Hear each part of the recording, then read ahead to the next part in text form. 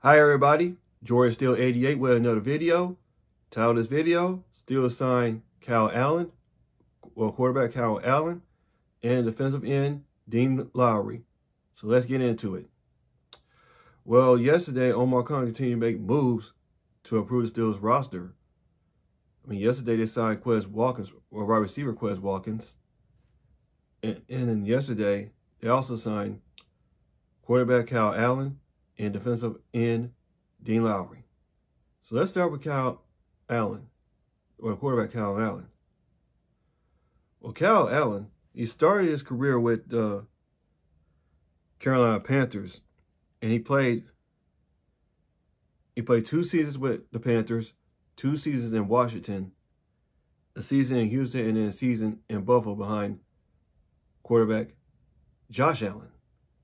So Kyle Allen I mean, he could be a pretty good quarterback, but he's going to be a number three quarterback behind Russell Wilson and Justin Fields. So the quarterback room looks pretty much improved from a Steelers perspective. So Kyle Allen is going to be pretty much a solid number three quarterback for the Steelers. So, I mean, in Carolina, in his two years there, he had, he made um 13 starts and played 15 games. And during his time with Carolina, he had he had 19 touchdowns and 16 interceptions two seasons in Carolina. In two seasons in Washington, he had five touchdowns and one interception in his four starts and playing six games. Well, in Buffalo, he didn't do much because Josh Allen is was was a quarterback and doesn't get hurt.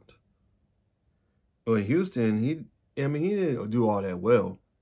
He had he had two started two games and played two games with two touchdown passes and four interceptions.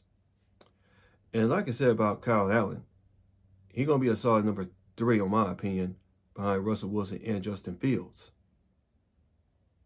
So that's Kyle Allen right there.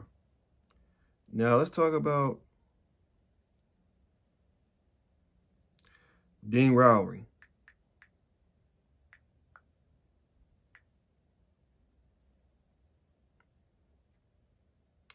Dean Lowry, defensive end Dean Lowry, he was the fourth round pick of the 2016 draft by the Green Bay Packers. And he, and he spent his career in the, in um, NFC North with the Packers and the Vikings.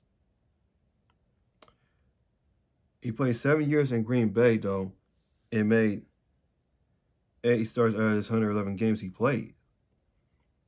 And during his time in, during his time in Green Bay, he had 15.5 sacks.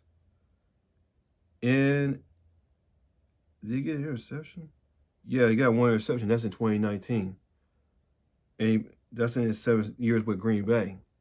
Now, well, he spent a season in Minnesota where he had well, he didn't make much impact in Minnesota because he was a backup in Minnesota. But he only played like four. He only played started four games and played nine games.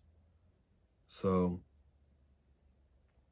so in Minnesota, he just didn't. He just had about like four solo tackles and 14 combined. Didn't get a sack, and he only he had a forced fumble though. A fumble recovery, excuse me, with the um, Minnesota Vikings. So, yeah. So that's Dean Lowry right there.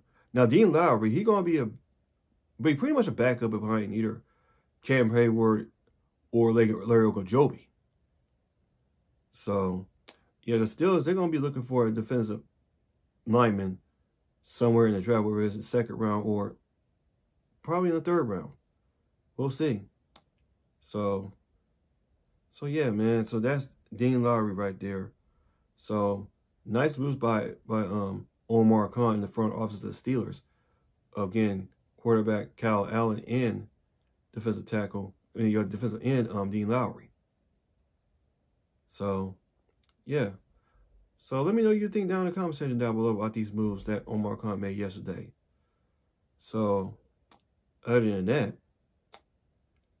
that's all from this video. This is Jordan Steel 88. See y'all guys in my next video. And as always, Here we go, Steelers. Here we go.